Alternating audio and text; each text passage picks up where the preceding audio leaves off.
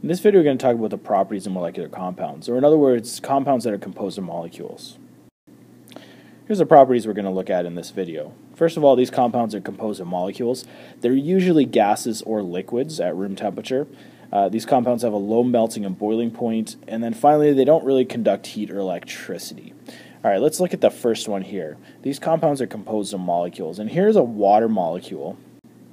And inside a glass of water, there would be billions and billions of these things. Now, these billions and billions of molecules are going to be attracted to each other. In other words, they're going to kind of stick together. And if we look at just one of these molecules, uh, what's happening here is that we have atoms that are sharing electrons and they're covalently bonded to each other.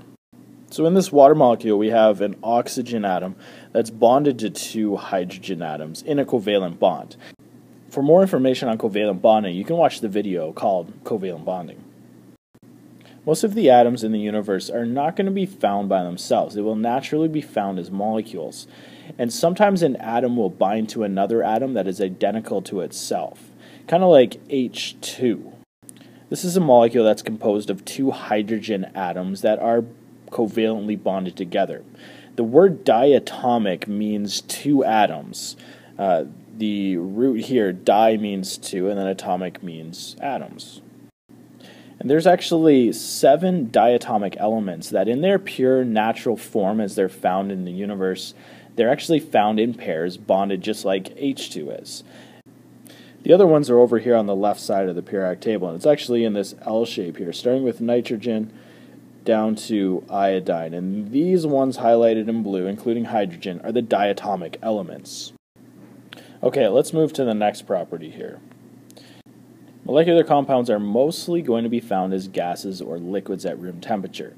So here's a glass of water with all its molecules there, and these molecules are going to be attracted to each other. Now the attraction is not very strong, and so they're kind of loosely held together. The molecules are kind of free to move and slide around past each other, which makes a liquid a liquid, its ability to flow. This is different from an ionic compound, because an ionic compound, we have something that's going to remain solid, and you'd have to get it really hot before it would melt. In this ionic compound here, the different ions are in fixed location. They, they can't really move around at all, and so we're going to have a solid.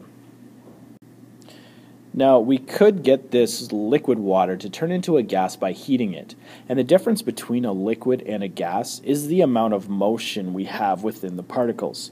If the particles are moving faster, then they have the ability to kind of break away from each other, and the attraction's not going to hold on as well. So as we heat this up, we will be able to get these molecules to fly away and become a gas.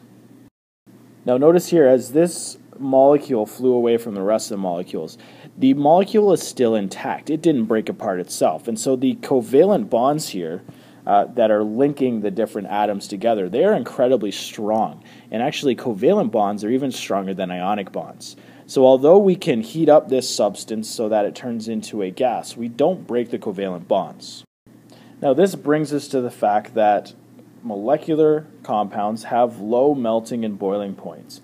And so we don't have to get these things very hot to turn them into a liquid or gas. Remember that boiling and melting, they don't mean we're breaking the covalent bonds. We're just making the molecules separate from each other. Okay, final property here Molecular compounds don't usually conduct heat or electricity very well.